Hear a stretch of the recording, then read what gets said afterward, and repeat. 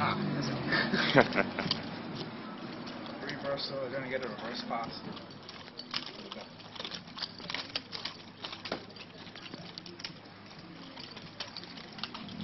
Uh, At least it won't end up on AFV. When something, something comes towards the camera. Right there.